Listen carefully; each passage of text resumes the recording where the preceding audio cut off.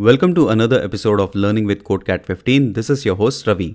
आज के सेशन में हम बात करेंगे ऑपरेशनल डिपेंडेंसी और सब में कॉल्ड डिपेंडेंट ऑपरेशन के बारे में। Now before I start this video if you new to what an operation queue is तो आप मेरे प्रीवियस वीडियो को चेकआउट कर सकते हो, जिसमें मैंने ऑपरेशन क्यू को डिटेल में एक्सप्लेन किया है। और इस वीडियो में कंपैरिजन भी है between GCD and operation queue जो आपको आपके इंटरव्यू प्रिपरेशन और टेक्निकल सोल्यूशनिंग में हेल्प करेगा। So do check it out video की लिंक आपको डिस्क्रिप्शन में मिल जाएगी, या फिर आप वीडियो अभी देखना चाहते हो तो अपर राइट हैंड कॉर्नर में जो आई बटन है, आप उसे क्लिक कर सकते हो। अब ये ऑपरेशनल डिपेंडेंसी या डिपेंडेंट ऑपरेशन क्या है? To explain this let me give you an example मुझे और मेरे भाई को चाय पीना है, और चाय बनाने के लिए हमें इन सारे इंग्रेडिएंट्स की ज़रूरत होती है। लेट से हमारे पास चाय बनाने के बाकी सारे इंग्रेडिएंट्स हैं, लेकिन चाय पत्ती नहीं है तो उस केस में हम चाय नहीं बना सकते बिकॉज़ जो मेन इंग्रेडिएंट है, वही मिसिंग है। तो अब मैं मेरे भाई को कहूँगा कि जाके दुकान से चाय पत्ती ले आ। मुझे यहाँ मेरे भाई के लिए वेट करना होगा बिकॉज़ यहाँ पे एक डिपेंडेंसी क्रिएट हो रही है। जब तक मेरा भाई चाय पत्ती लेके नहीं आता,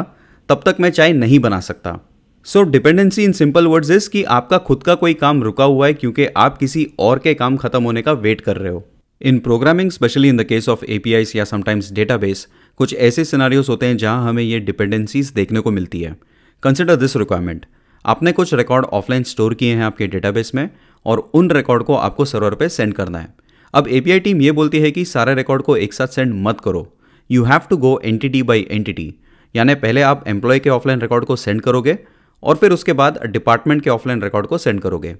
मैं डिपार्टमेंट के ऑफलाइन रिकॉर्ड को तब तक पुश नहीं कर सकता जब तक एम्प्लॉय के सारे ऑफलाइन रिकॉर्ड सर्वर से सिंक नहीं हो जाते। So pushing the department record to the server is dependent on the completion of employee operation ऐसे सिनारियोज के लिए हमारे पास दो सोल्यूशंस हैं।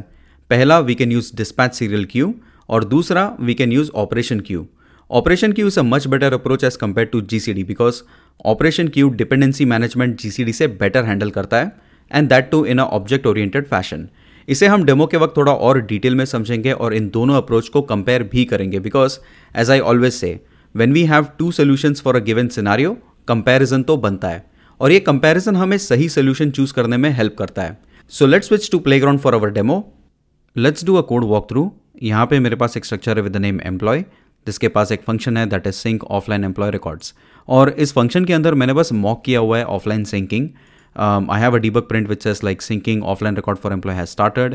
and then it goes to sleep for two seconds और फिर उसके बाद डीबक प्रिंट लिखा हुआ है जहाँ पे syncing completed for employee print करेंगे हम लोग. And the same thing is repeated for the department as you can see finally we have the sync manager जहाँ पे हम हमारा कोड लिखेंगे inside the sync offline record function so सबसे पहले we are going to start with operation queue so over here I will write let employee sync operation is equals to block operation हम लोग block operation क्यों use कर रहे हैं, ये मैंने प्रीवियस वीडियो में एक्सप्लेन किया हुआ है. And then employ sync operation add execution block let employ is equals to employ and then employ dot sync offline employ record और सेम चीज़ हम लोग डिपार्टमेंट के साथ करेंगे this will be department and this is going to be department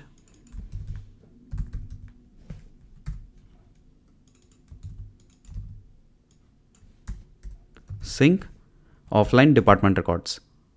अब क्योंकि हमने हमारे ऑपरेशंस क्रिएट कर दिए हैं the very last thing that is pending is creating the operation queue so over here we'll create the operation q is equals to operation q and then we are going to add add operation, that is the employee sync operation, और फिर उसके बाद operation q, add operation, department sync operation. अभी अगर मैंने इस code को as it is run किया तो देखते हैं क्या होता है। So let me run it so as you can see यहाँ पे एम्प्लॉय और डिपार्टमेंट दोनों एक साथ स्टार्ट हुए और एक साथ फिनिश हुए। हमारे एपीआई डेवलपर्स ने हमसे ये कहा था कि सबसे पहले एम्प्लॉय का रिकॉर्ड सिंक होना चाहिए और फिर उसके बाद डिपार्टमेंट का रिकॉर्ड सिंक होना चाहिए। So we have to add a dependency अभी हमारे कोड में हमने कहीं पे भी डिपेंडेंसी ऐड नहीं की है। So let's go head and add dependency so हम लोग क्या करेंगे? डिपार्टमेंट का जो ऑपरेशन है it is dependent on the employee sync operation यानी जब एम्प्लॉय के सारे रिकॉर्ड सिंक हो जाएँगे, फिर उसके बाद डिपार्टमेंट का सिंक ऑपरेशन स्टार्ट होना चाहिए। So now let see what happens let me run the application employee started and employee completed department started and then department completed and let's say कल को जाके for some reason API developers फिर से ये बोलते हैं कि आप अभी डिपार्टमेंट का रिकॉर्ड पहले सेंड करो और फिर उसके बाद एम्प्लॉय का रिकॉर्ड सेंड करो। So in that case what you have to do is ये जो एक लाइन का कोड है यहाँ पे, इसे आपको चेंज करना होगा। And you have to add employee sync operation is dependent on the department sync operation और इसे मैं कॉमेंट आउट कर देता हूँ। तो अभी होगा क्या कि जो डिपार्टमेंट का रिकॉर्ड है वो सबसे पहले सिंक होगा और फिर उसके बाद एम्प्लॉय का रिकॉर्ड सिंक होगा। So let me run the application department started department completed and then employee started employee completed so as you can see how easy it is to handle dependencies with the help of operation queue so अभी हमने ये देखा कि operation Q use करके आप dependencies को कैसे manage कर सकते हो। ऑपरेशन क्यू इंटरनली जीसीडी का ही यूज़ करता है और ऑपरेशन क्यू के एडिशनल बेनिफिट्स भी हैं एज कंपेयर टू जीसीडी। तो चलिए अब ये देखते हैं कि हम डिस्पैच सीरियल क्यू यूज़ करके इस सिनारियो को कैसे हैंडल करेंगे। So over here what I am going to do सबसे पहले एक क्यू क्रिएट कर लेते हैं। Let serial queue is equals to dispatch init और यहाँ पे will just give it a name cat fifteen example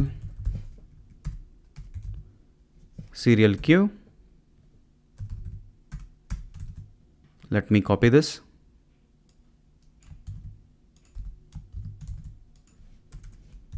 serial queue dot async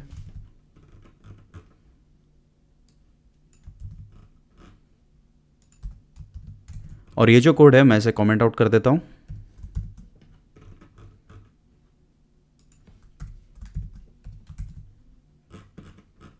and now let me run the application. Employee started employee completed department started and then department completed. और अगर मान लो कि A P developers ने sequence change कर दिया और अभी वो बोलते हैं कि डिपार्टमेंट का रिकॉर्ड पहले सेंड करो। And if you using the dispatch serial queue तो उस केस में all you have to do is ये जो सीक्वेंस है यहाँ पे uh, जैसा पहले आपने एम्प्लॉय के रिकॉर्ड्स असिंग किए और फिर उसके बाद department all you have to do is you have to cut this और इसे एम्प्लॉय के पहले ऐड करना पड़ेगा आपको। एंड दिस इज़ बिकॉज़ जो सीरियल क्यू है it is a FIFO in nature that is first in and first out so now when you run the application you will see department started, department completed, employee started and then employee. अभी हमने operation queue और serial queue इन दोनों का use किया है to handle a scenario अब चलिए इन्हें कंपेयर करते हैं। सीरियल क्यू में हमें बहुत ही कम कोड लिखना पड़ा as compare to operation queue लेकिन सीरियल क्यू में आपको एक बात का ध्यान रखना होगा कि जिस सीक्वेंस में आप टास्क ऐड कर रहे हो वो सीक्वेंस आपको मेंटेन करना होगा। अगर आपने सीक्वेंस में कुछ गड़बड़ कर दी तो रिज़ल्ट कुछ और ही होगा। सो so, सपोज़ मुझे डिपार्टमेंट से पहले अभी प्रोजेक्ट का रिकॉर्ड सिंक करना है और मैं गलती से कुछ ये कोड ऐड कर देता हूँ। So over here I write serial queue sync debug print syncing project record